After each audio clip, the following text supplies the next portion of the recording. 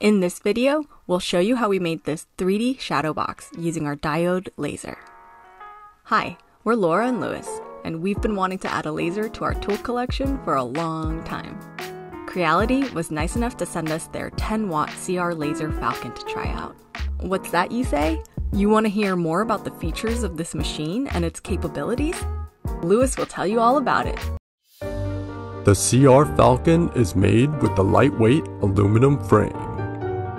It sports a sleek, one button operation, metric gradations on the axes, and a built in bubble level. The 10 watt diode laser is powerful enough to cut through 12 millimeters on some types of material. Honeycomb bed not included. We're using quarter inch or 5 millimeter Baltic birch for this project. After placing the stock on the honeycomb bed, we use the focus block to set the height of the laser. There are two thumb screws on the side that allow the laser to move up and down on the mount. We imported the files for the project using Lightburn, and we left a link in the description for the files that we used.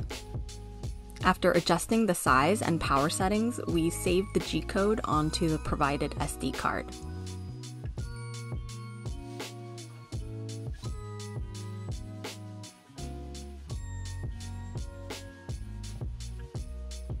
After turning on the machine, we press the button one time and that activates the alignment mode.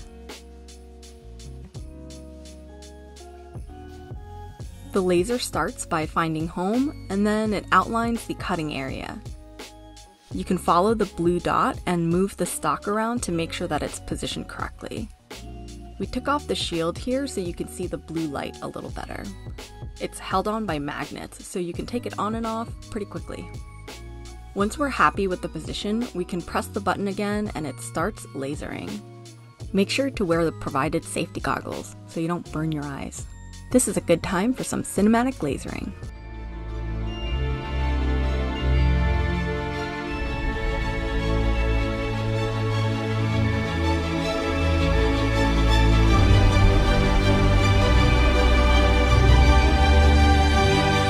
Oh, and side note, since there's no display, we found that there can only be one file on the SD card at a time for the machine to read. So for each layer, we had to delete the file, then upload the next, then delete, upload the next, then delete, upload the next. Anyways, back to the lasering.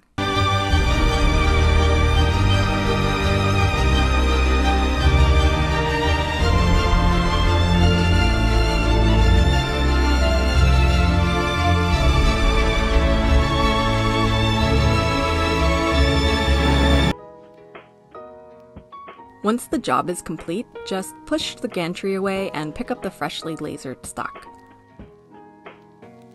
For this piece, there were a few areas where it didn't burn all the way through, but I was able to use a razor to score the back and that did the trick.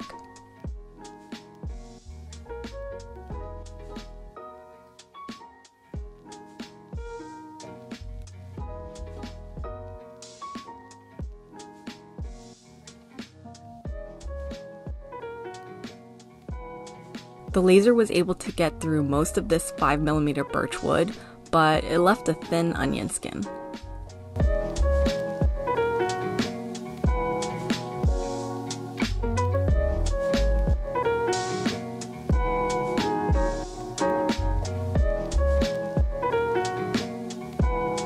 The laser came with a few sheets of 3mm basswood, which it blasted right through in one pass.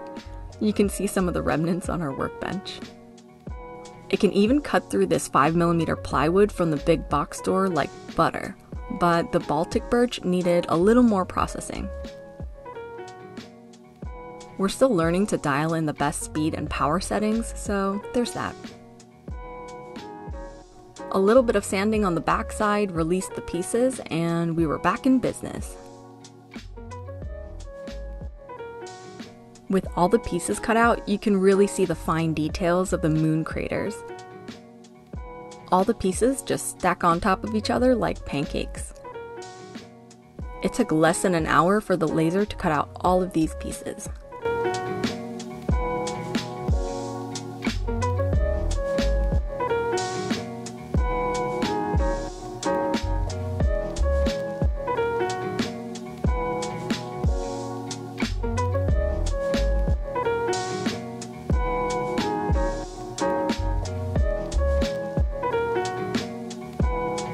Here, we forgot to add a hole for the LED wires to pull through on Lightburn, so we just drilled it out. Then time for the fun part. We mixed up some acrylic paint and painted up all the pieces. Some of the leftover soot from the laser can be wiped off with acetone. And you should probably do that before painting because clearly we did not and you can really see it. Once all the paint dried, we glued the sections together with our favorite glue combo, Starbond CA glue and a little spritz of activator.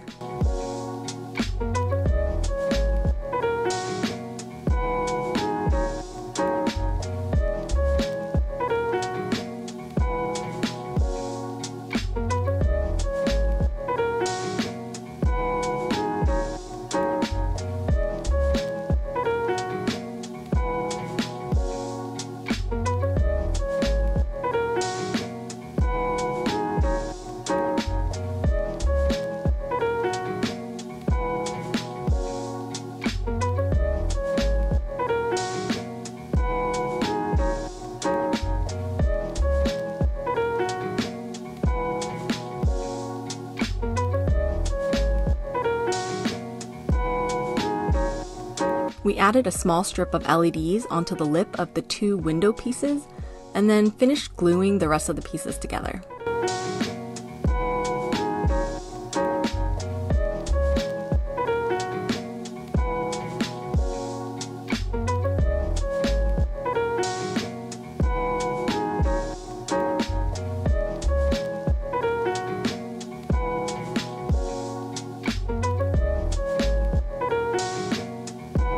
Off camera, we also made a quick plywood frame to house all the layers.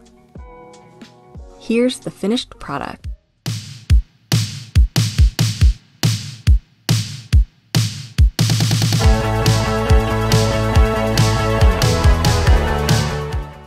We're super happy with how this project turned out. What a good moon. It wouldn't have been possible without Creality's new 10 watt laser. We can't wait to laser more things and incorporate it into our workflow. If you enjoyed the project, please consider liking and commenting below. And make sure to subscribe for more DIY projects. Thanks for watching!